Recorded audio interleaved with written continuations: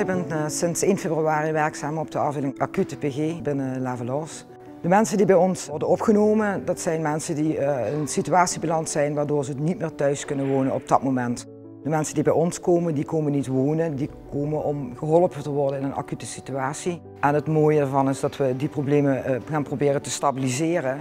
En eigenlijk ook zoeken in die tijd om naar een passende woonplek. En het liefst ook ervoor zorgen dat mensen gewoon weer terug naar huis kunnen. Ik werk sinds 1 eh, oktober op de acute PG. Iedere dag is het anders. Je weet nooit wat je te wachten staat als je de dag begint. We nemen 24-7 nemen cliënten op. Het is flexibel, je moet eh, stressbestendig zijn. Eh, we doen het echt samen met elkaar, samen met BNB. Ja, en dat maakt het zo leuk om in dit team te werken. Het is een nieuw team met allemaal heel veel gemotiveerde personeelsleden. Dat maakt het gewoon heel erg leuk en afwisselend.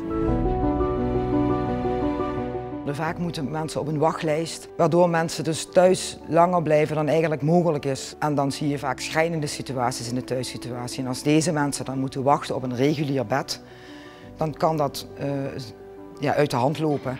En dan kunnen wij heel veel problemen voor zijn door mensen toch bij ons al te laten komen. Ik probeer me wel in te leven in de familie en de cliënten zelf, uh, later als ik op mijn afdeling. Uh, weggerukt van, wordt van mijn vertrouwde omgeving, hoe wil ik dan behandeld worden en benaderd worden. Dus gewoon helemaal in kaart brengen, wie, wie heb ik voor me, wie is die persoon.